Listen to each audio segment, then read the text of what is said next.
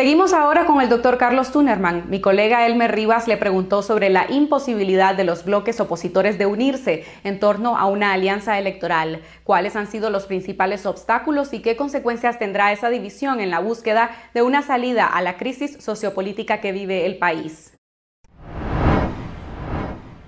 Gracias, doctor Carlos Tunerman, por conversar con nuestra audiencia de esta noche. La alianza electoral que abanderaría la unidad de las fuerzas opositoras se disipó esta tarde, después que, la, que el Partido Ciudadano por la Libertad de la Alianza Ciudadana inscribieran por separado su participación en los comicios electorales sometidos a las reglas de Ortega.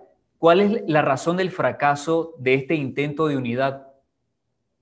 Bueno, la Comisión de Buena Voluntad hizo todo lo que estaba a su alcance para tratar de que hubiese una unidad de todas las fuerzas democráticas opositoras.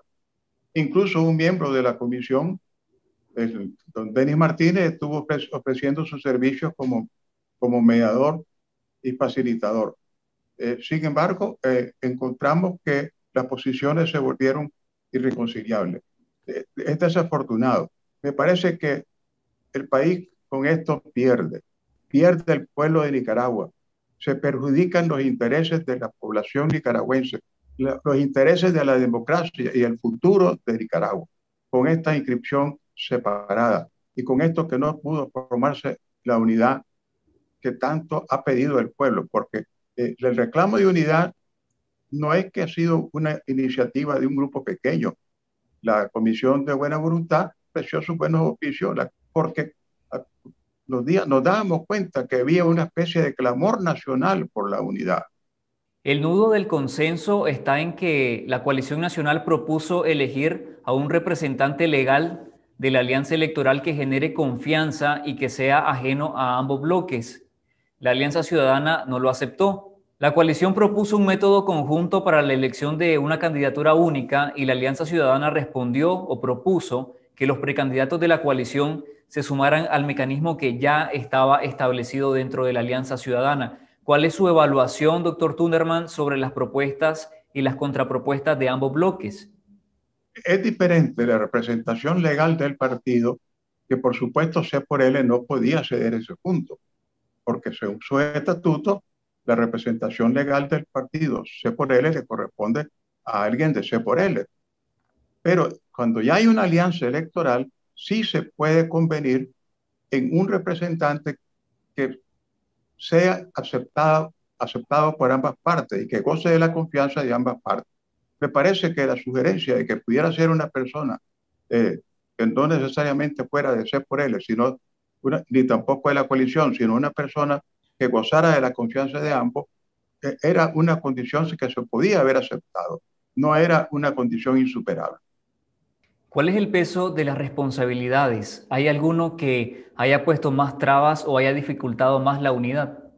La Comisión de Buena Voluntad va a reunirse eh, para eh, hacer un juicio precisamente evaluativo de lo que sucedió, eh, con la participación, por supuesto, de don Denis Martínez, que estuvo involucrado hasta el día de ayer, porque parece que el día de hoy ya no, no, no participó no lo invitaron o, no, le informaron. Eh, y después que hagamos esa, esa evaluación, eh, haríamos un pronunciamiento. Ese es el compromiso que nosotros hicimos público el día de ayer, reiterando algo que ya habíamos dicho el, 4 de mayo, cuando dijimos, eh, dejen todas las diferencias y únanse. Y dijimos, nosotros, así como haremos el elogio y el reconocimiento a quienes hayan facilitado que se forme la gran unidad electoral, la alianza electoral, de la misma manera y con el mismo ánimo, si no se logra, nosotros señalaremos los sectores que pusieron más resistencia a que esto fuera una realidad. Fíjate que el día de hoy en Noea, el secretario Almagro dijo una frase muy contundente. Dijo, en Nicaragua se está preparando para la peor elección posible la peor elección posible. Y además de eso habló después de, las reformas electorales que echaron para atrás las posibilidades de un, proceso electoral creíble. Eh, la, señora también presidente, presidenta de la Comisión Interamericana de Derechos Humanos eh, también se pronunció y varios de los embajadores de Estados Unidos, de la embajadora de Costa Rica, etcétera.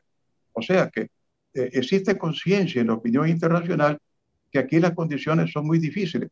Y si las condiciones son difíciles, con mayor razón es que tenemos que estar unidos. Porque la manera de derrotar a Ortega es con un tsunami de votos a un candidato único con una oposición unida. Esa sería la manera. Aunque no tengamos observación electoral, si nosotros logramos poner un tsunami de votos a favor de la democracia a un candidato único elegido por la, la, unidad opositora o la, o la unidad electoral opositora, nosotros podríamos derrotar a Ortega sin duda alguna. Y a propósito de estas condiciones que usted menciona, ¿qué podemos esperar del escenario en que la oposición dividida en estos dos bloques opositores decidan ir a las elecciones bajo las reglas de Ortega y bajo el estado de sitio policial que vivimos actualmente? Van en peores condiciones. Es decir, eh, con, con esta división se está favoreciendo a Ortega. La división a quien favorece a Ortega. Ortega debe estar feliz de la vida de que se inscribieron por separado. Pero el primero que se inscribió, que quede claro, que fue eh, la, la, la, alianza electoral de C por L y de la Alianza Ciudadana. ¿Eso significa que tienen algún peso de responsabilidad aún mayor que el otro bloque opositor? Bueno, esas responsabilidades las vamos a deslindar en el juicio que vamos a hacer, eh, más que juicio, pues en la apreciación. Nosotros no nos estamos constituyendo en jueces.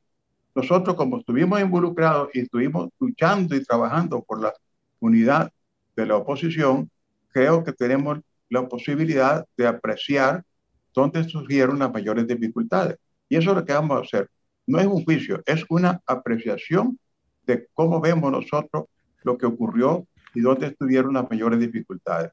La exigencia por la unidad viene de las bases de, nuestra población, de todos los sectores. En los municipios, en los departamentos, todos claman por la unidad. E incluso dicen que están en desacuerdo con que las cúpulas no se unan cuando ellos están unidos en la base, en los territorios. En consecuencia, creo que no se le ha hecho ningún favor al pueblo de Nicaragua al inscribirse por separado. Y eh, yo lamento mucho que esto haya ocurrido porque estamos comprometiendo el futuro del país y el futuro de las futuras generaciones, eh, porque con esta situación yendo dividido, es muy posible que se repita el escenario del año 2006. Los pueblos que no aprenden de la historia están condenados a repetirla. Bajo este escenario político de la oposición, ¿existe alguna posibilidad durante los próximos 40 días de que las fuerzas opositoras puedan unirse en la acción en torno a, una solo, a un solo bloque para hacerle frente a la dictadura? Bueno, yo creo que al menos se podría que se ponga en, práctica el acuerdo Unidad Nicaragua primero y que los candidatos o aspirantes, independientemente de los partidos a que pertenecen, sin excluir a ninguno, porque se notaba que había cierta intención como de excluir eh, la candidatura de eh, doña Cristiana Chamorro eh, o de algún otro candidato. No, todos los que han aspirado, de acuerdo con, con, ese documento, que lo, firmaron todos los candidatos que en ese momento estaban en la palestra electoral, que se cumpla y que entonces hay un procedimiento único eh, eh, a través de, de, debates, de consultas, de encuestas, para elegir un candidato único. Eh, ahora ya es, muy difícil porque aquí lo que va a suceder es que habiéndose inscrito por separado las alianzas, entonces va a salir un candidato por la alianza que inscribió C por L y otro candidato de la alianza que inscribió el, el, el PRD. Entonces vamos a tener dos candidatos y eso a quien favorece a Ortega.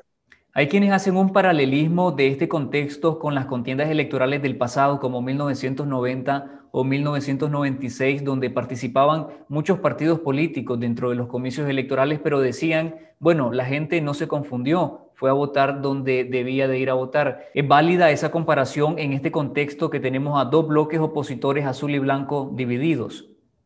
No es el mismo escenario. Eh, el escenario del año 90 era clarísimo.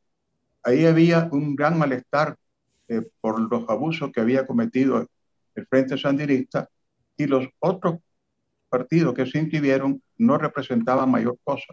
En cambio, ahora eh, tenemos dos bloques electorales fuertes, porque aunque muchos no quieran reconocerlo, el bloque electoral que representa la coalición nacional es un, bloque electoral fuerte, que por lo tanto no se puede comparar eh, con los del pasado. De tal manera, pues, que ahora va bien, el escenario que se está viendo es el escenario del 2006, más que el de los años 90, y que entonces ahí se puede producir esa división del voto. Ojalá se encontraran procedimientos, maneras, a través de, por ejemplo, una candidatura única, que se pudieran poner de acuerdo en eso, eh, de, que vamos a ir a una candidatura única, porque si tenemos un candidato o una candidata único o única, ahí sí, sí puede funcionar el voto útil, la gente, el voto se podría dirigirse ahí. Porque aquí lo que vamos a necesitar es que no vaya a despertarse, que porque el hecho de que no se logró la unidad en este momento, venga la desesperanza en la población. O, o mucha gente diga, así no vale ir a votar se va a repetir el escenario de 2006, entonces haya una propensión a la abstención electoral. Eso sería también fatal.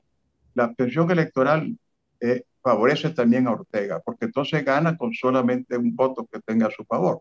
Lo que necesitamos es entonces, por lo menos, lograr que se pongan de acuerdo acerca de un candidato o candidata único, habiendo todas las posibilidades en vista del gran peligro que vamos a correr y que se dejen de de diferencias y de, y de, y de, y de controversia. Y, y nos, nos, agarremos de la única tabla de salvación que tenemos ahora, es la candidatura única, aceptada por, las por las dos alianzas electorales. Las dos alianzas electorales convienen en que va a haber un candidato único de ambas alianzas.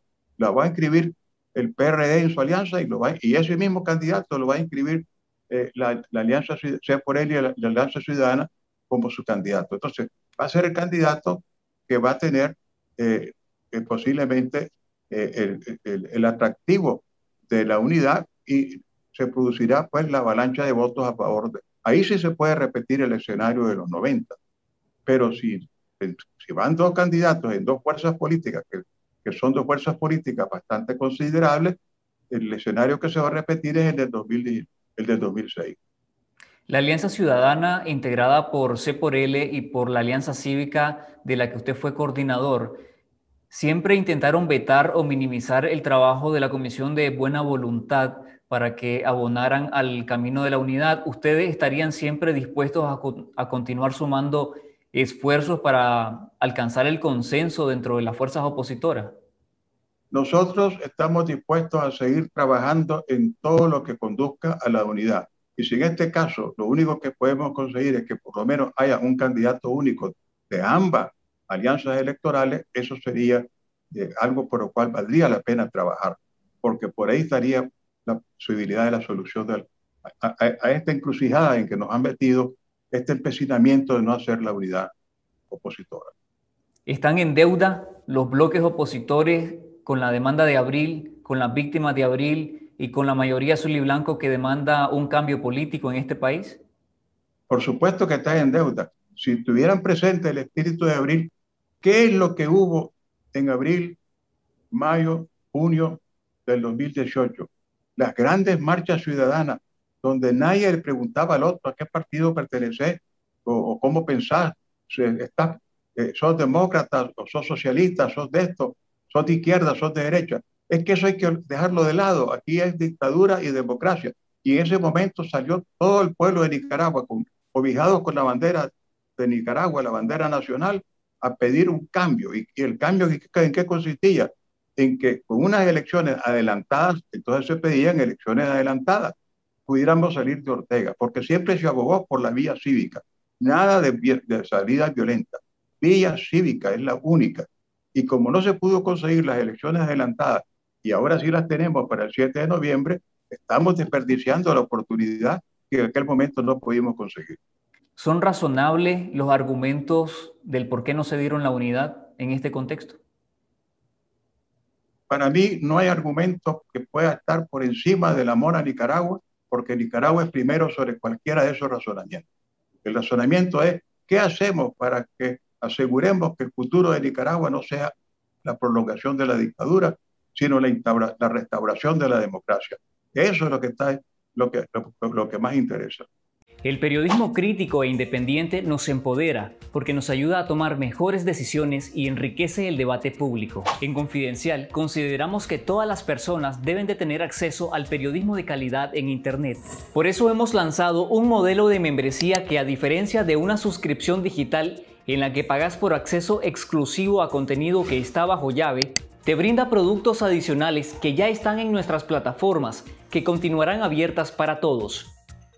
Te invito a visitar confidencial.com.ni para obtener más información sobre esta iniciativa.